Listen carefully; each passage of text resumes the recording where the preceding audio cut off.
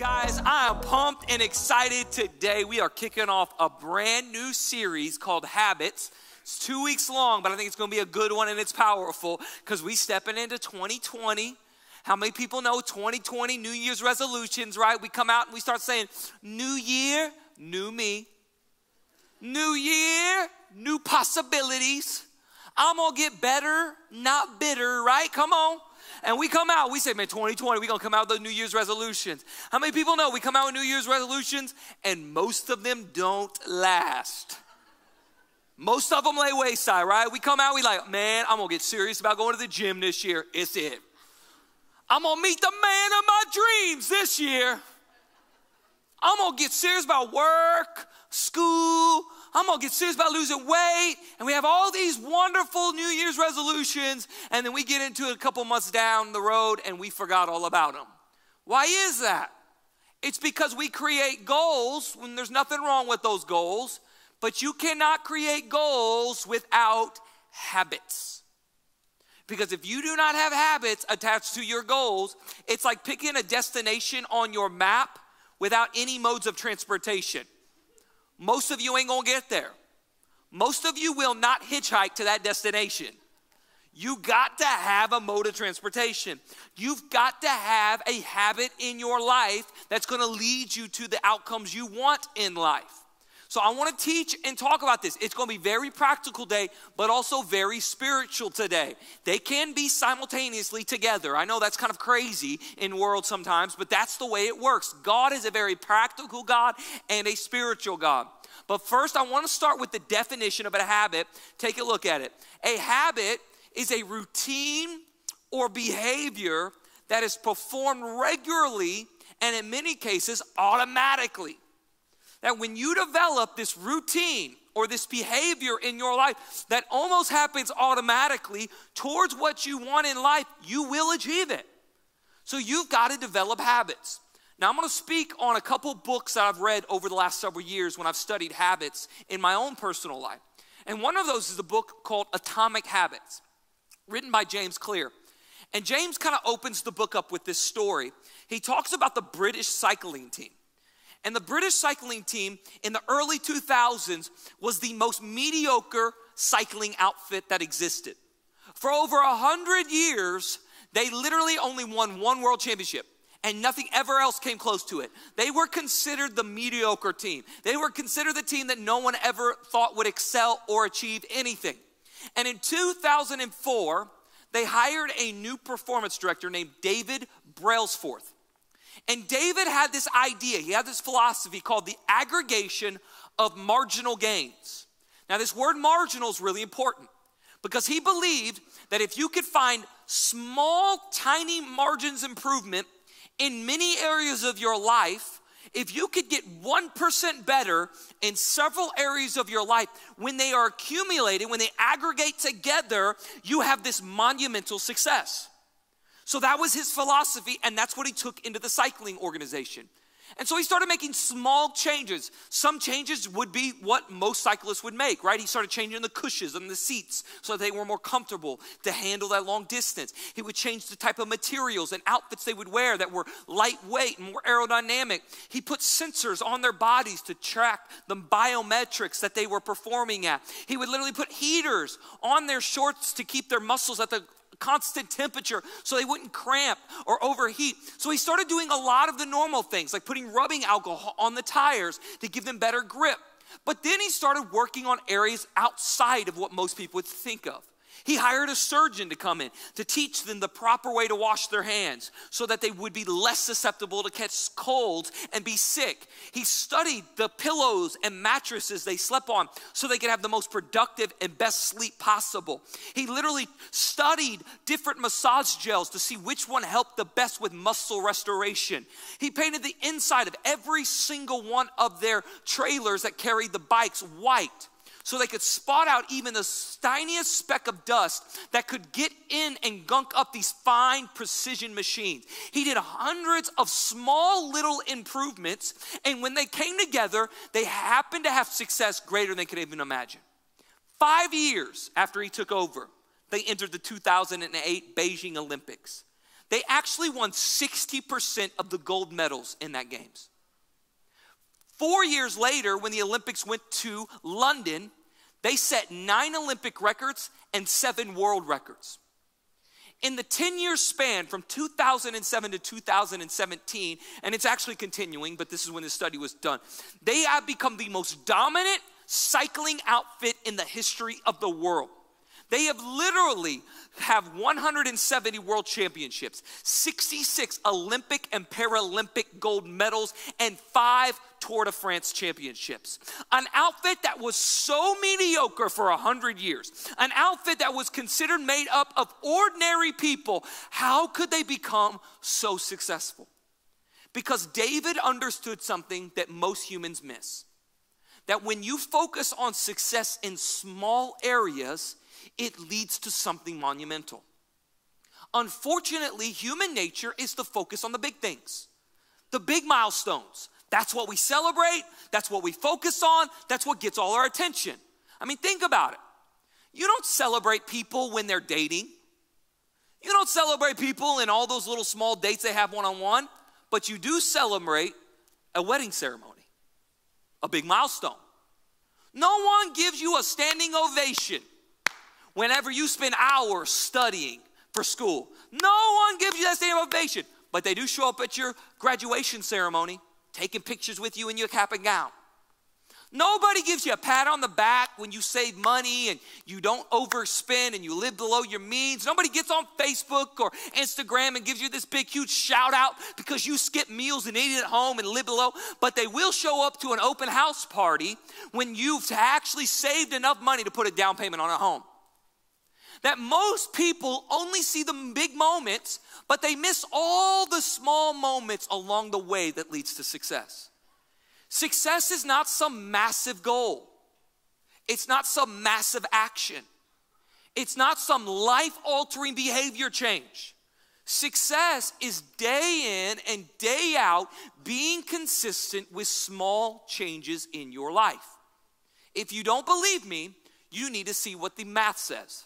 The mouth says it like this if you get 1% better every single day for one year, you will actually be almost 38 times more improved than you are right now in one year.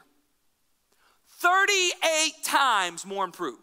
If you got 1% better in your finances every single day, your finances would improve by 38% times.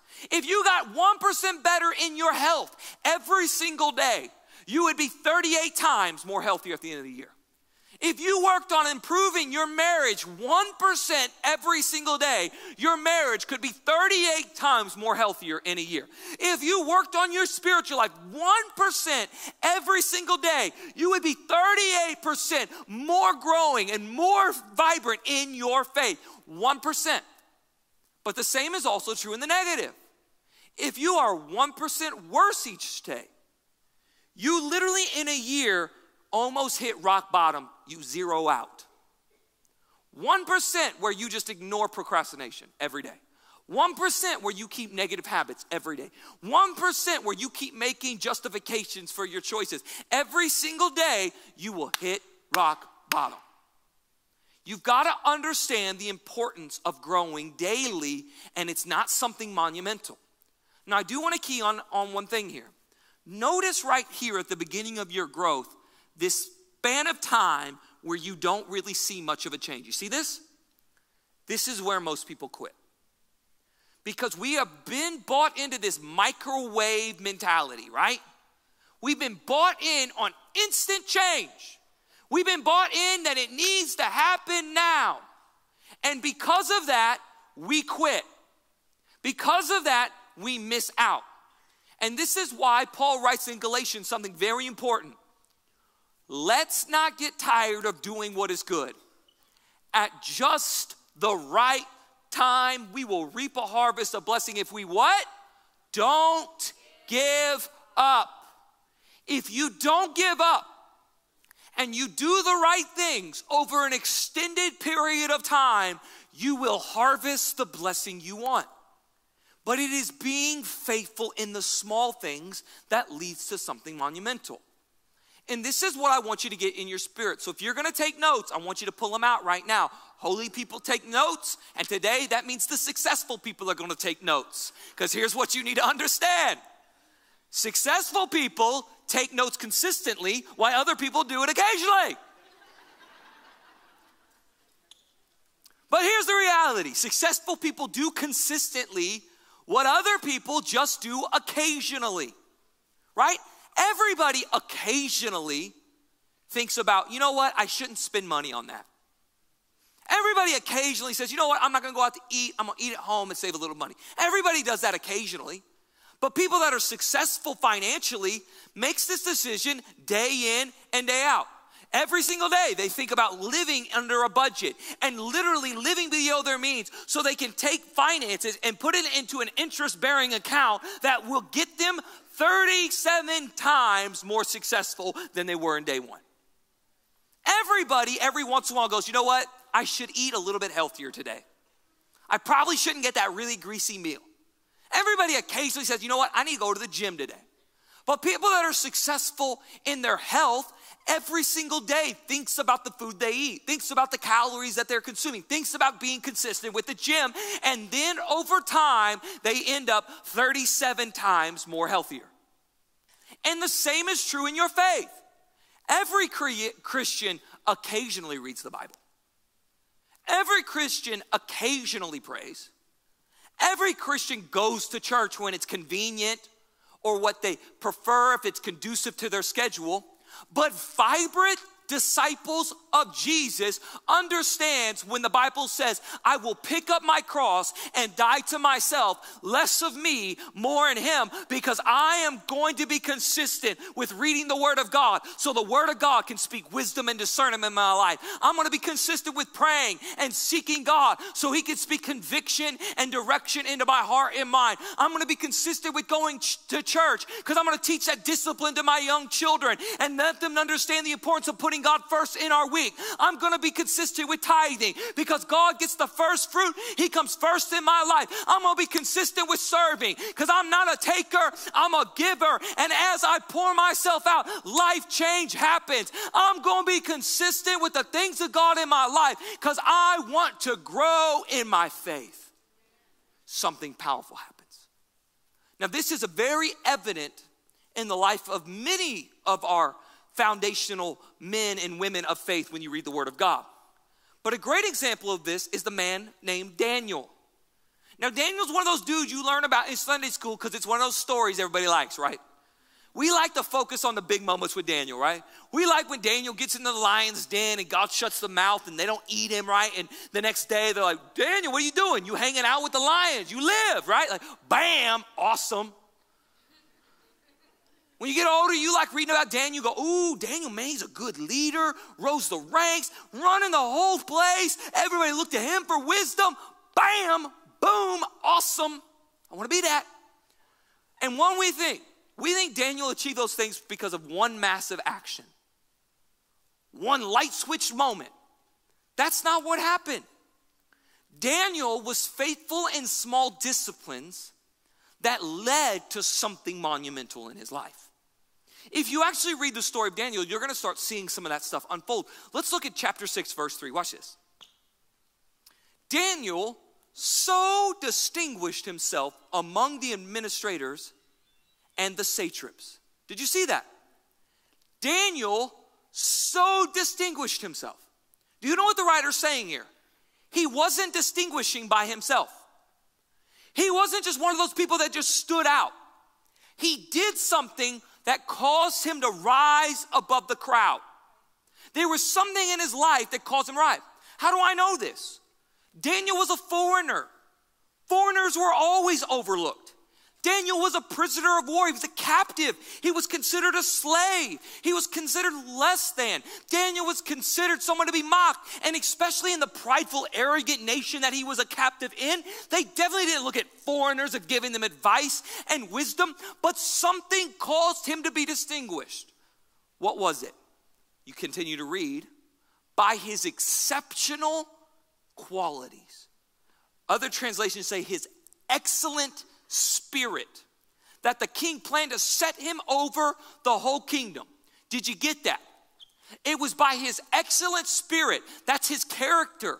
That's his discipline. That's his work ethic. That's his integrity. And those things don't just happen one day. They don't just happen in one moment. They don't happen because of one massive goal. They happen because you are consistently faithful day in and day out. It causes something to grow in your life. And if you read the life of Daniel, you'll see that he was faithful and consistent with his eating and his diet. He was faithful and consistent with learning and being an educated man and growing in his leadership qualities. But he was also an extremely faithful and disciplined with the spiritual disciplines in his life as a follower of God. And he literally made that his number one priority because Daniel understood something very important that most people miss. Write this in your notes we naturally drift towards complacency, but we strategically plan for growth. That if you just do what you've always done without being conscious of your decisions, you will naturally settle. You will naturally drift towards complacency. You will naturally float down to rock bottom. But if you want to grow in your life, you got to be strategic. You got to plan for it. You got to desire it and add discipline to it because dreams without discipline is fantasy. And a lot of us are good at living fantasies. We're good at making up a whole list of New Year's resolutions, but we're really bad at seeing them become realities in our lives. And why is that? Because there's a lot of outside forces that are trying to keep you from growth. Maybe those outside forces are physical. Maybe they're physical people trying to keep you from growth. Maybe you're surrounding yourself with people that like to procrastinate, that like to settle, and they want to keep you at their level because they don't want discipline or integrity and growth in their lives. Maybe they're not followers of God. Maybe they don't believe the principles of God. Maybe they don't want to have spiritualism. So they don't want you to be radical and passionate and pursuing that. They want you down at their level. Maybe the forces is your own mindsets and mentalities. Maybe you look at yourself in the mirror and say, This is just the way it's always gonna be. I will always be who I've always been. Maybe it's because you've had a series of failures in your life. Maybe because somebody said something negative to you or mistreated you or harmed you. Maybe some tragedy, but you've made up your mind this is your life and you will settle for it. Maybe it's because you got some unhealthy motivations in your life. Maybe you want vengeance. Maybe you want justice. Maybe you got pride or greed or selfishness. Maybe you think you got to prove to the world you are successful because you feel insecure and like you are meaningless. And that will never sustain you over the long haul. Long haul. And mainly, it's spiritual. You have an enemy of, the, of your soul that does not want you walking in your God given design. He does not want you to understand that Jesus says, I've come to give you a life and life more abundantly. He wants to be the thief that still kills and destroys the very things in your life. And if you do not understand that, you are going to always settle and naturally drift towards complacency. And Daniel had this going on. Daniel's thriving. Daniel's growing. Daniel's got disciplines. Daniel's got habits. Daniel has got an excellent spirit that is causing the king to notice him. And the locals in this area cannot stand it about him. So they say, man, we're going to conspire to get this dude out of here. We're going to conspire to get rid of him. Outside forces coming against Daniel. Watch what it says when we pick up the story. The administrators and the satraps tried to find grounds for charges against Daniel in his conduct of the government affairs, but they were unable to do so. Why? Because he had a character, he had an integrity, he had an excellent spirit. Goes on to say, they could not find no corruption in him because he was trustworthy and neither corrupt nor negligent. Goes on to say, finally, these men said, We will never find any basis for charges against this man, Daniel, unless it has to do with the law of his God. We will never be able to get him where it hurts most unless we attack the deepest things into his life. Those things that he practices day in and day out, those things that are foundational in his life. So they came up with this idea hey, the king, he's pretty prideful. He likes life to be about him. We're gonna trick him. We're gonna say, hey, king, For 30 days, let's make a law that nobody worships anybody but you. They pray to you, they worship you, they literally exalt you. And if anybody prays to anything other than you, if they worship anything other than you, we're gonna throw them in the lion's death for a sentence to death. They gotta die, right? We're gonna throw them in the lion's den. And the king's like, I like that. I like people worshiping me. I like people celebrating me. Make it a law. And he did. Little did he know they were making it exactly about Daniel. So Daniel hears this law's passed, and watch what he responds with. Watch this. Now, when Daniel learned that the decree had been published, he went home to his upstairs room where the windows opened towards Jerusalem. I want you to get that in your spirit.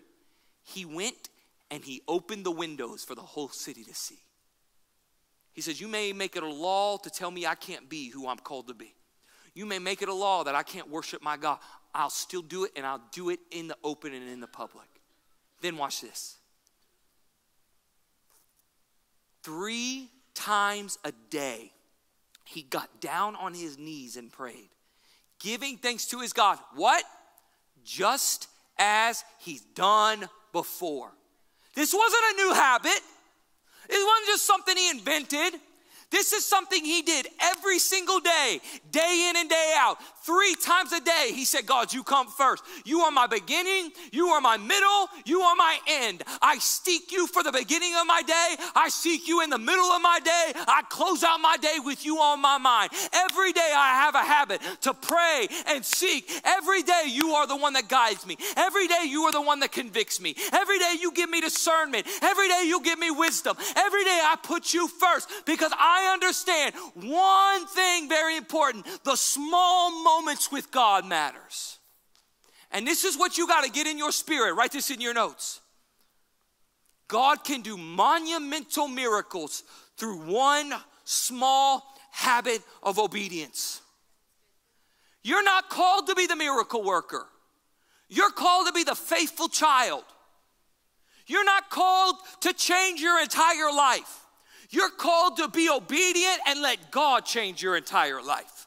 You're not called to heal or change other people. You're called to be faithful and a steward with your opportunities, and the Holy Spirit changes people. The Holy Spirit moves in the lives of people. The Holy Spirit's what changes life. You are called to be obedient. Daniel did what he'd always, always done. He was faithful with a small moment, and then he stood before a lion, and the mouth was shut, and the king fell and said, We will worship the one living God. You are staring at your marriage right now, and it's about to die. And the only way God's gonna shut the mouth of the lion is if you're a servant and a steward of what you've been given. You've been given opportunities, you've been given moments of faithfulness, grow in it. You're never gonna see a miracle in your finances if you don't start tithing and putting God first and being a steward in it. You're never gonna see purpose in your life if you can't serve in the moments you've been given now.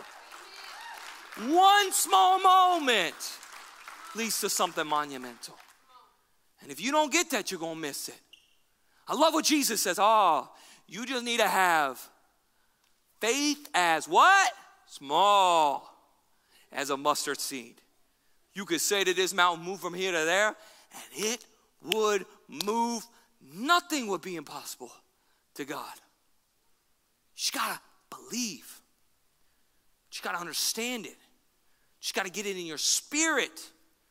Here's what I know though we're really good at seeing the outcomes of what we want, but we're really bad at seeing the steps to take us to get there. We're really good at seeing some big, massive thing we want in life. And we're really good at just saying, what's 1% of growth? What's 1% of decline? Does it really matter? Does this 1% of compromise really matter? Does this 1% of discipline really matter? It does over time. Because here's what you got to understand habits have compound interest. Because they have compound imp- interest of self growth and self improvement when you do it over the long haul. You've got to get this in your spirit. There's a book called The Power of Habits. And in this book, they introduce something called a keystone habit. And a keystone habit basically is this it's one habit that when you place in your life consistently causes a snowball or a domino effect that creates positive momentum that leads to other positive habits in your life. But the same is true in the negative. That one missed habit can create negative momentum that can lead to negative habits in your life. A good example is this I like to go to the gym.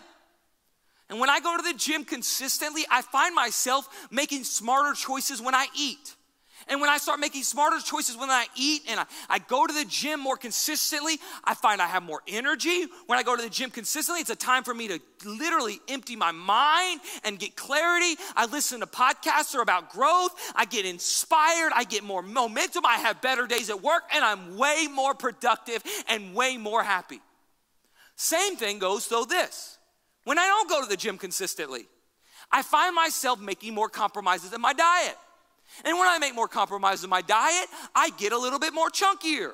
And when I get a little bit more chunkier, I start complaining to my wife that I look fluffy and fat. And when I start complaining to my wife that I look fluffy and fat, she gets annoyed with me and gets mad at me, and it puts me in a bad mood because she's supposed to tell me you look amazing and look wonderful and look at those abs. She doesn't do that. And then when I get more like that, I'm not taking time to drain my mind. I'm thinking about things. I'm not having self growth. I start having bad days. I start having bad days at work. I not perform to the level I should. I end up losing my job. Then I become more depressed. I eat more. I get fatter. I need a new wardrobe, but I can't afford it because I don't got a job. And now all my shirts fit like tube tops.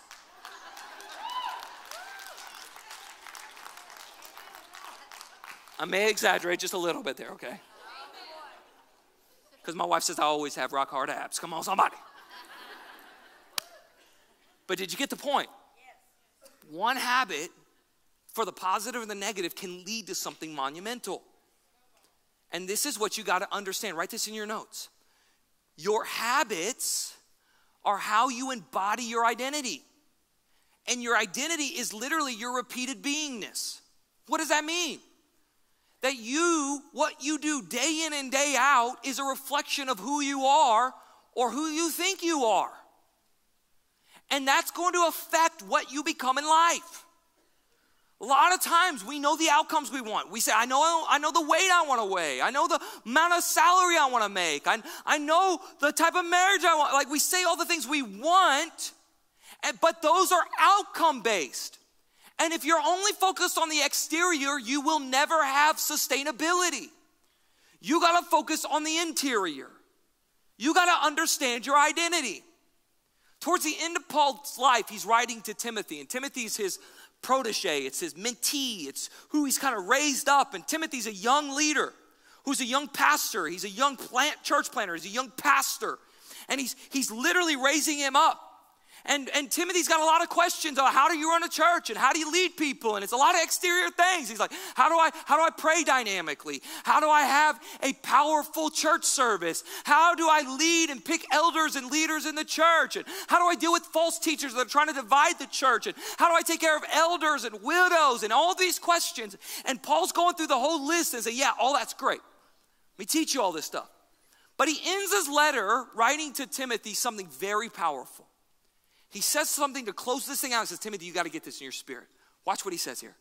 He says, Timothy, you are a man of God. Did you see that? He looks at Timothy and says, Timothy, let me tell you your identity. Let me tell you who you are. Because none of the external will change unless the internal changes. You are a man of God.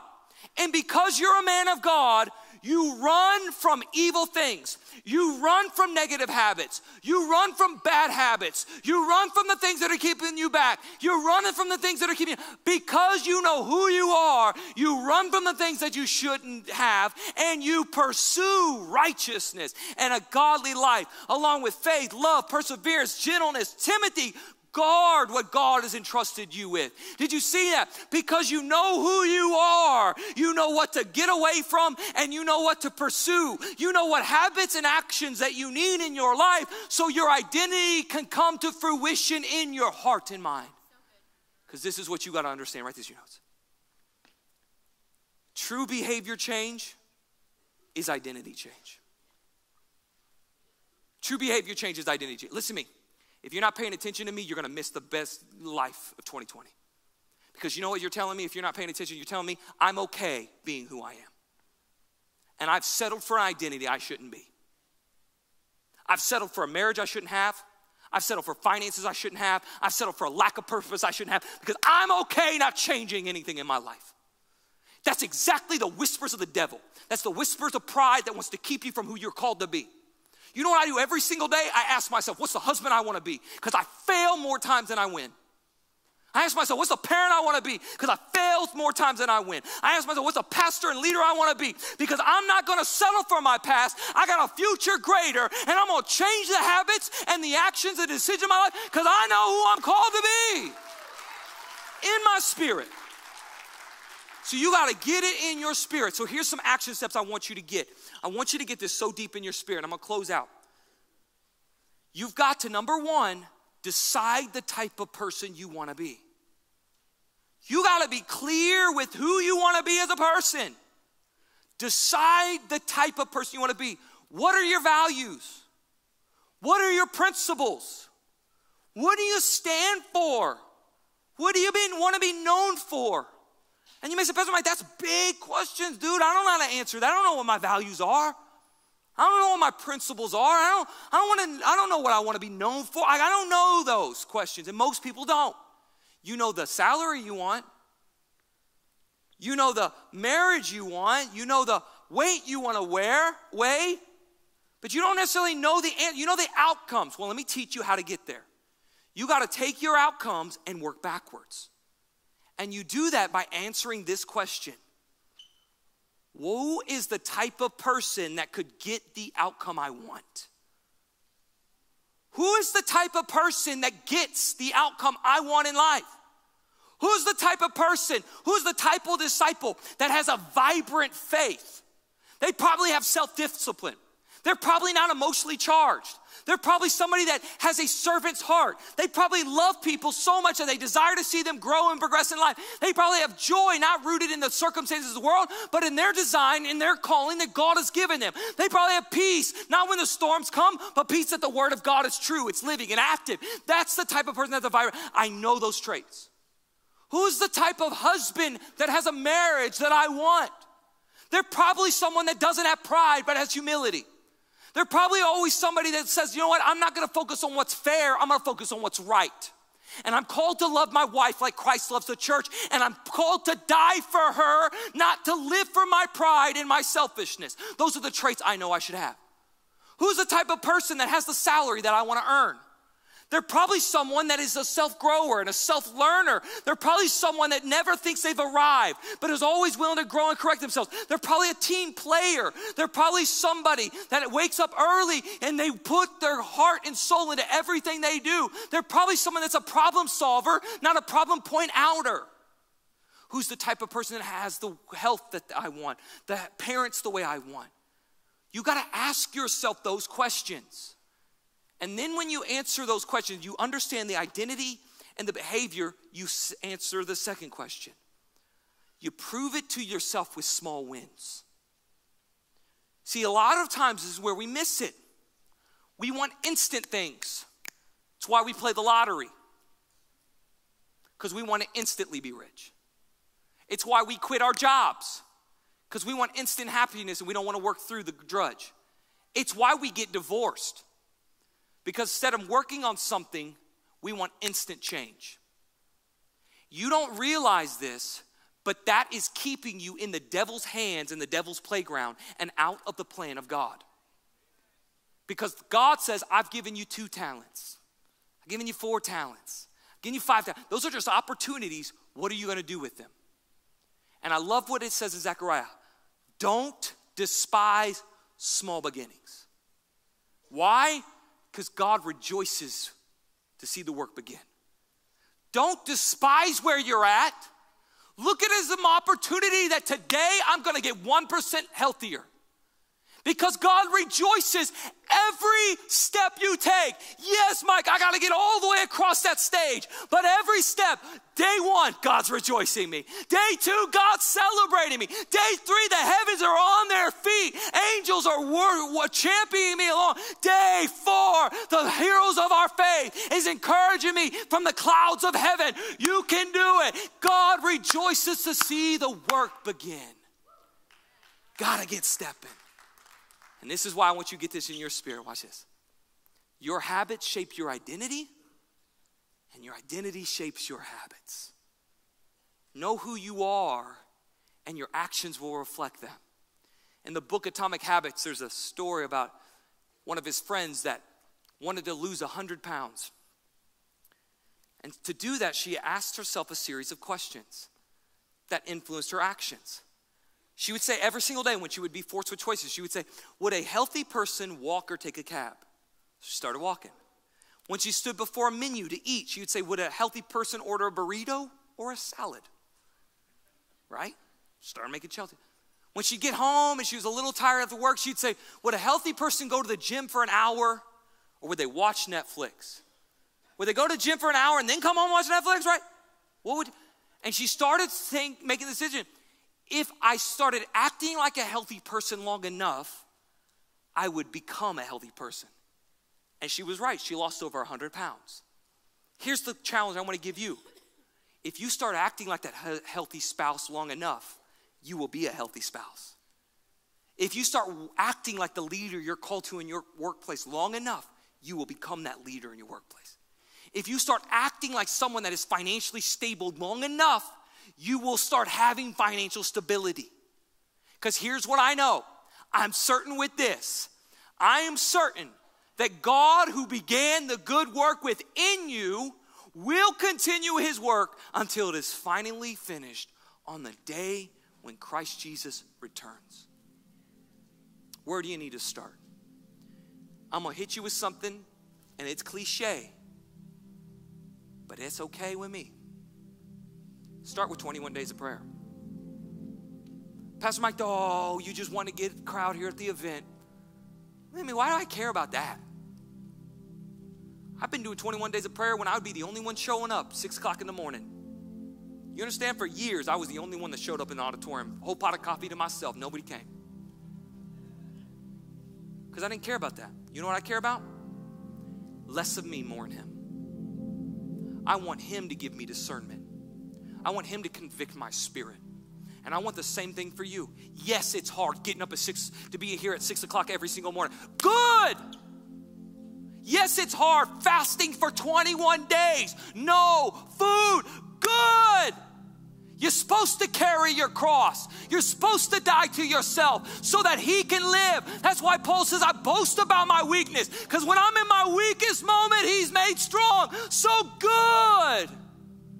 Quit walking on the fumes of your strength and start gliding on the abundance of the strength of God.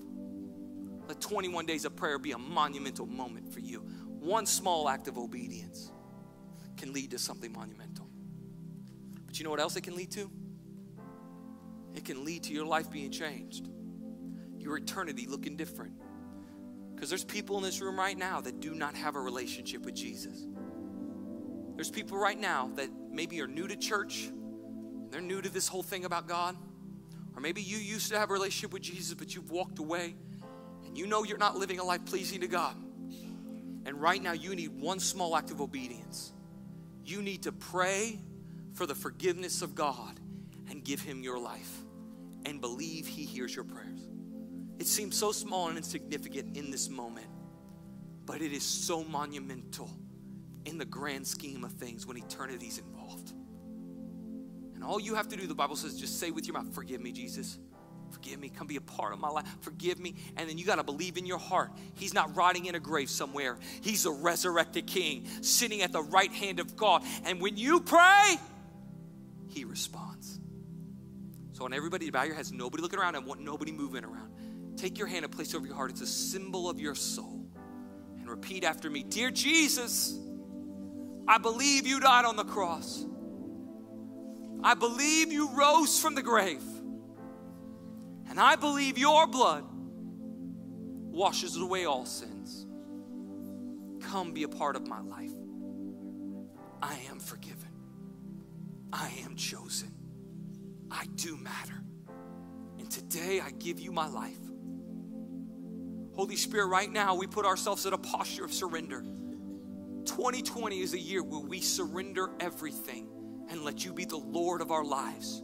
You are in charge. Fill our minds with your thoughts, fill our ears with your voice, fill our eyes to see what you see, and let us go the places you're calling us to go, and let us speak the life that you've called us to speak. We give you our lives right now and surrender. With every head bowed, I want nobody looking around. You made that commitment today for the first time, or you recommitted your life to Jesus, I'm gonna ask you to do something very bold and brave. It's crazy bold, but in just a second, I'm gonna ask you to raise your hand. Why do I do that? Because I want this to be a keystone moment for you. I want this to be the first day of a catalyst of change in your life, and I want you to be proud about it. I want you to be excited about it because heaven is rejoicing. You're a part of my family of faith, and I want to rejoice with you. So, on the count of three, I want to see hands all over this place raised if you made that commitment today. One, don't be afraid. Two, we gonna celebrate together. Three, What's up, family? Man, I'm so excited that you just tuned in to one of the messages here at Bloom, and I hope it really blessed you. If you'd like to stay up with Bloom, you can follow us on all social media sites at Church Bloom. And if this was really a blessing to you and you want to continue to support our ministry and love to donate, you can go to bloomhere.org slash give or text the five-digit number listed right here below. Guys, we are blessed. Hope you tune in next time. I pray God's peace.